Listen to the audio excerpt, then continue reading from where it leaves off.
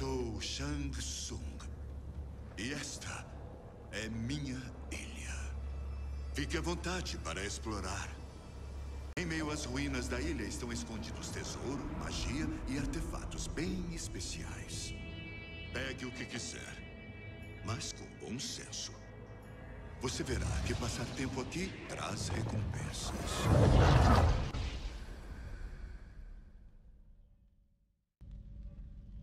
Fala, fiotes! Está com dificuldade aí para encontrar todas as chaves, né, secretas que abrem as portas na nova cripta em Mortal Kombat 11? Ah, tá fácil agora. Eu sou o Kalil e bem-vindos a mais um vídeo aqui no canal e hoje eu vou mostrar para vocês como encontrar, né, cada uma dessas chaves e abrir os portões da cripta. Mas antes, já deixa aqui o seu like assassino matador e se ainda não é inscrito, seja muito bem-vindo também. Conheça o conteúdo do canal, dá uma espiada piada, veja os vídeos. Se você gostar, se inscreva, junte-se a nós, faça parte dessa família. É muito bom ter você aqui.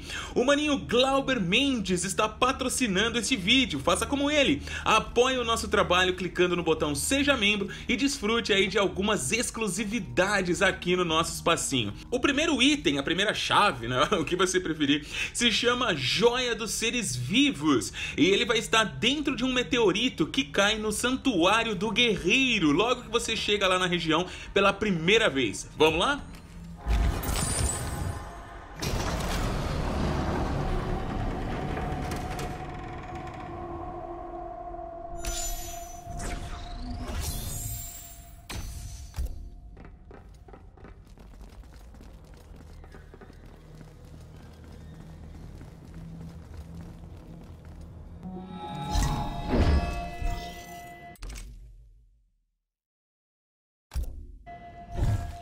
Com esse machado, vocês já sabem, a gente pode quebrar os itens aqui dentro da cripta, arrombar portões, paredes e beleza.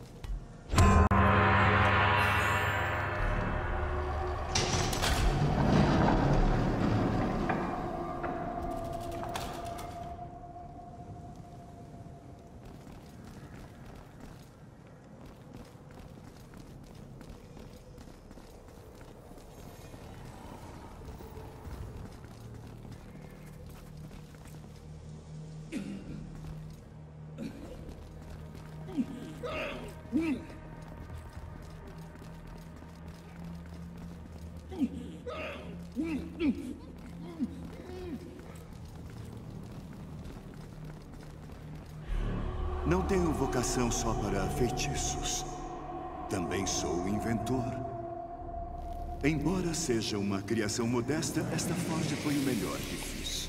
Ela transmuta seus itens em novos itens que podem ser mais úteis.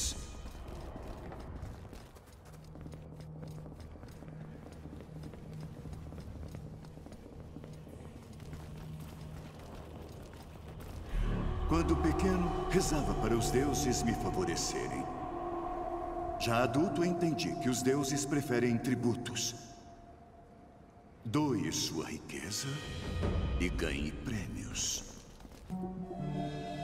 Bom, olha aí, galera. Chegamos no Santuário do Guerreiro e o meteorito caiu. Só precisamos chegar até ele e quebrá-lo. Foi neste altar que enfrentei Liu Kang. Em vez de saborear a vitória final, me engasguei com uma derrota. Se o monge pensa que esqueci, ele cometeu um erro grave. Beleza, saca aí. Joias dos seres vivos. Alguns itens podem ser usados como chave para desbloquear novas passagens. E é isso que a gente vai fazer com todos os itens que eu vou mostrar aqui. Esse primeiro vai abrir o local onde vamos encontrar o chifre quebrado, né? O chifre rachado do Motaro, que é agora o nosso próximo item a procurar. Opa, não é aqui.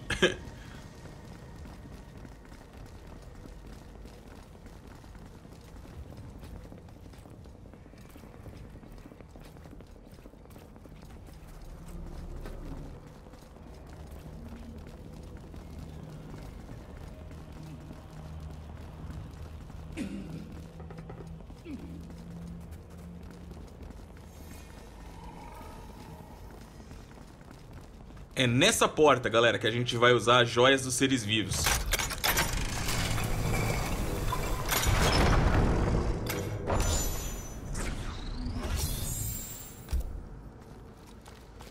Com ela teremos acesso aos jardins e a essa porta. Basta puxar a alavanca e pronto. Teremos acesso à segunda chave.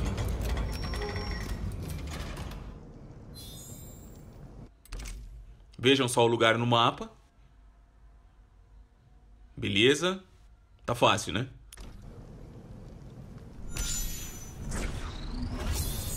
Tá aí. Chifre rachado do Motaro.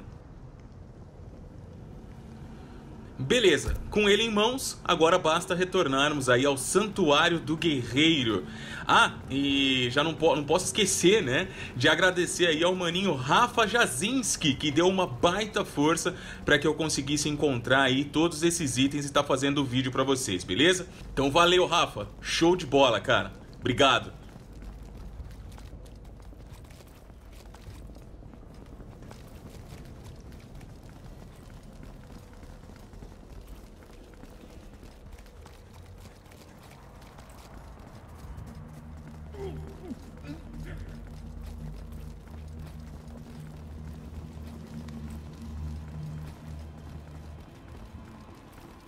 Agora é só usar, né, no portal e beleza.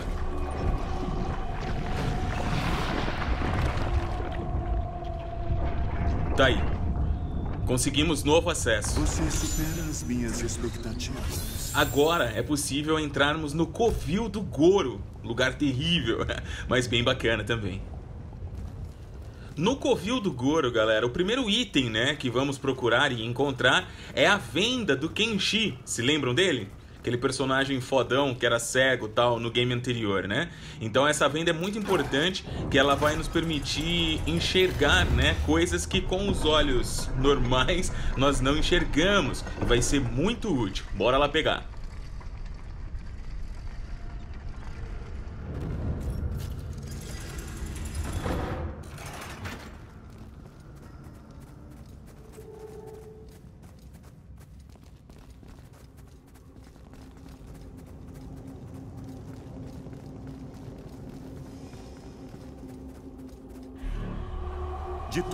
Meus campeões, Goro é o que mais faz falta. Sorte sua ele ter morrido. Ele iria te devorar pela ousadia de invadir o lado dele.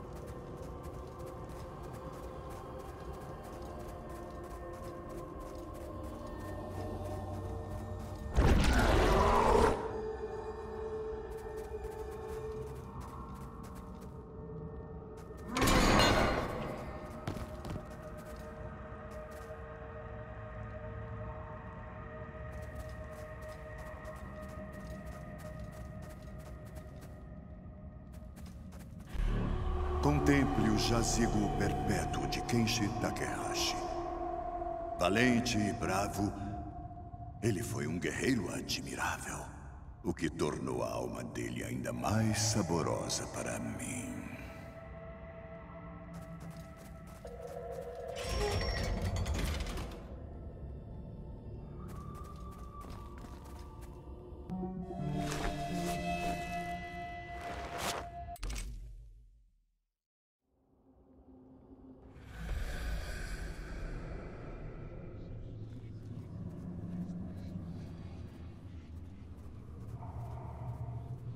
O que os olhos não veem. Viram só? É bem útil, é bem útil. O próximo item, galera, são as lanças, né, as kunais do Scorpion, que vai nos ajudar a abrir aí os baús que estão pegando fogo. Bora lá pegar ela também. Depois que a gente pegou, né, as vendas do Kenshin, a gente volta lá na sala do trono do Goro. Saca só aqui no mapa. Inclusive é um cenário do jogo, né? Beleza. E aí vocês vão seguir por esse caminho.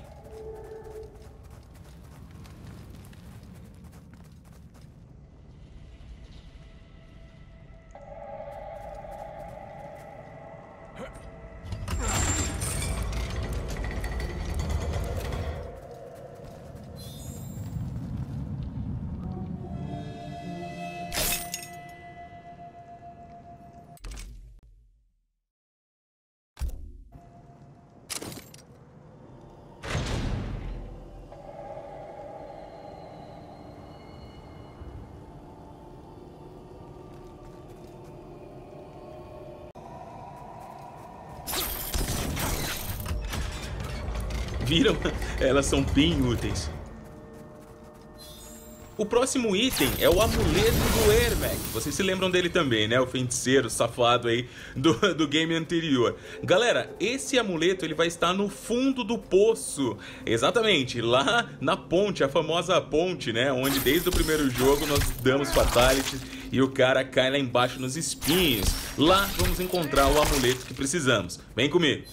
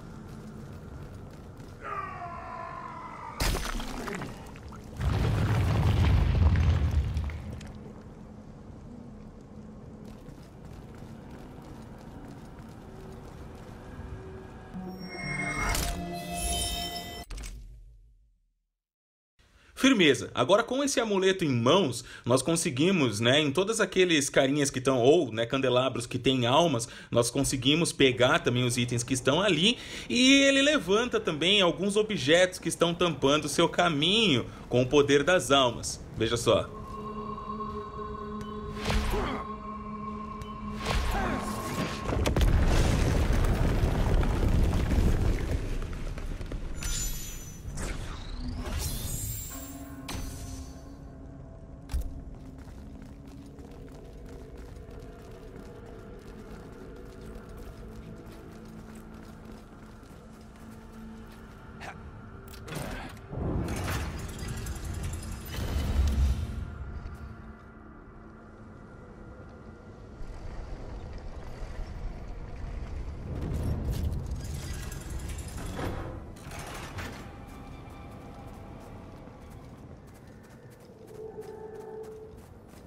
Pessoal, muita atenção agora. Uh, aqui no refeitório do Goro, nós temos uma porta específica, né? Que ela também só abre com um item específico. No meu caso, eu já tinha esse item comigo, então consegui abrir sem problemas. Porém, se vocês chegarem aqui e não aparecer o botão de interação, Este item vai estar tá nos baús, eles, é um item aleatório, tá? Você vai ter que abrir ali todos os baús do refeitório do Goro. Em um deles você vai encontrar. É este item, pessoal. Veja só a foto. Chave esqueleto, chave da caveira, algo assim, beleza? Abrindo a porta, nós teremos acesso aí às salas da tortura, salas de tortura. Pessoal, agora aqui no grande salão do Goro, olha só no mapa. Estão vendo aqui? Nessa localização. Bom, vocês vão encontrar este portão. E este portão, galera, essa porta, enfim, ele precisa de três chaves para abrir, ok? E aonde nós encontramos isso? Pois bem, agora que o bicho pega. Porque é o seguinte, vocês vão ter que sair da cripta entrar lá nas torres do tempo e fazer três tarefas para conseguir os três medalhões, as três chaves que seja, tá? As tarefas são 10 brutalities, 10 fatalities e 10 mercies, ok? Para quem não sabe, né, o mercy é a misericórdia que você dá ao seu inimigo quando você o derrota. Você dá ali um percentual de vida para ele de volta, para ele tentar aí continuar a luta e quem sabe te derrotar, beleza? O comando para você executar o mercy, você no caso do PlayStation 4, né, que eu estou jogando, você vai pressionar o L2 em média distância e apertar aí aí 3, 5 vezes o botão para baixo com o L2 pressionado. Fez as três tarefas? Beleza, volte para o mesmo lugar da cripta e, colo e coloque né, os três medalhões, as três chaves. Assim que você abrir o portão, você vai ter acesso ao próximo item da nossa caçada, que é o coração de Blaze.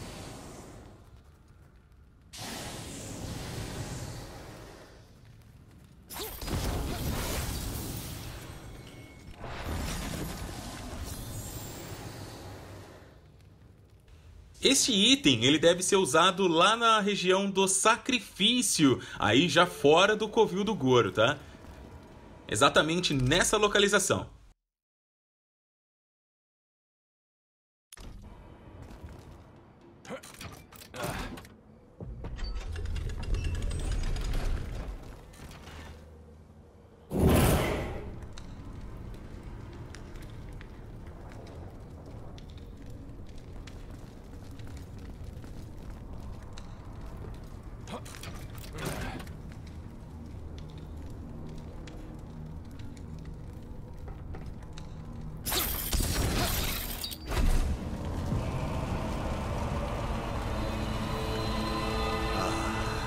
Um dos meus favoritos.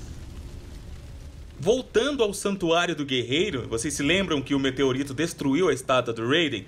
Vá até essa estátua novamente e faça a interação colocando nela um medalhão. Essa interação nos vai permitir ganhar aí o Cajado do Deus do Trovão. Com o cajado em mãos, voltamos lá no Covil do Gouro, exatamente nessa região do mapa. Aqui vamos interagir com essa porta.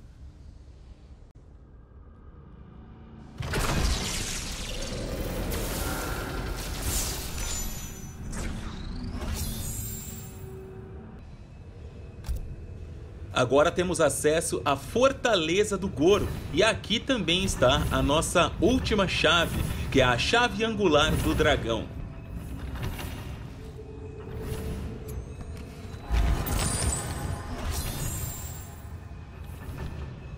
Este item nos vai dar acesso aí à última região do mapa. E vejam só, nesse local, estão vendo? Ok? Beleza.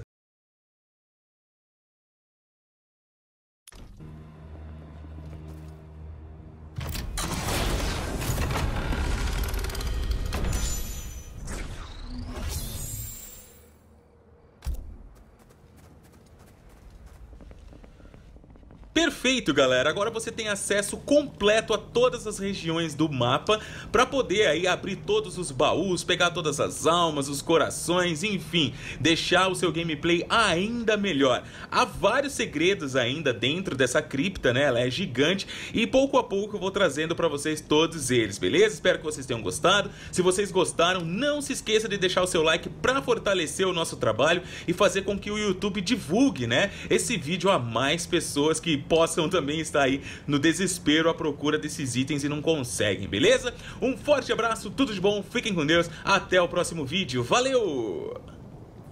Agora você pode ser membro do canal, ajudar de perto o avanço dos projetos, né? E contribuir para que consigamos aí sempre trazer um conteúdo robusto, de qualidade, do jeitinho que vocês merecem.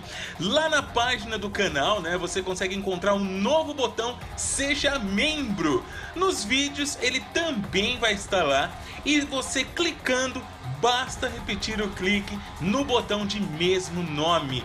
Com apenas uma contribuição pequena por mês, você vai ajudar o canal na linha de frente, terá acesso antecipado ao conteúdo né, que postamos aqui, destaque e selos exclusivos durante as transmissões das lives e sem contar né, os diversos brindes e sorteios separados apenas para os membros ativos do canal. Vamos lá, seja membro você também!